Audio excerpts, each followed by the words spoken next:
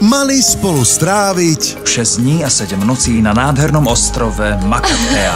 Ale okolnosti vytvorili nové dvojice. Čo také sa môže stať?